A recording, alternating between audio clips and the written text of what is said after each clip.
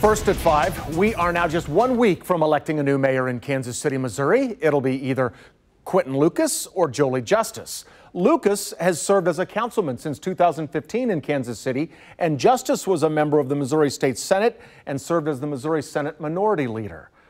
Right now, a new Remington research poll shows 54% of the voters favor Quinton Lucas and 49% prefer Justus. So we want to know how much do Kansas City voters really know about the two candidates? KCTV5's Kelly Taylor is live in Kansas City with those details this evening. Kelly, you've got some pictures to show the voters. Let's see them.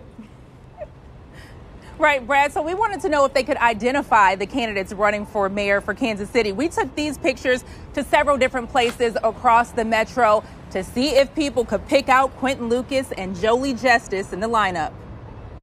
Do you know who's running for mayor? One of these is the mayoral candidate for Kansas City. Uh, I'm gonna go with that one.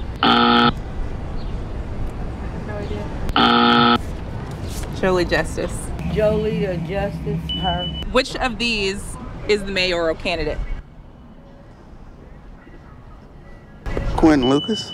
Which female candidate is Oh, running? this is going to be harder. Yeah, her. I was going to say, yep, Jolie her. Justus. Yep. Which of these is the mayoral candidate? Do you know his name? No. Him right here.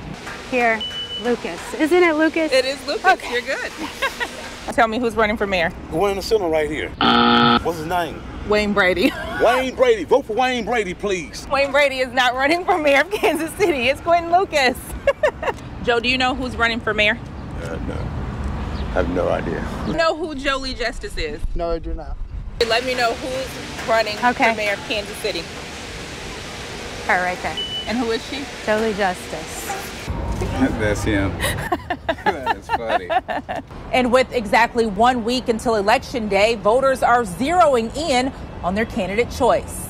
I hadn't really decided yet, but I'm leaning one way or the other. It's going to be a tight race between the two. That's what I think.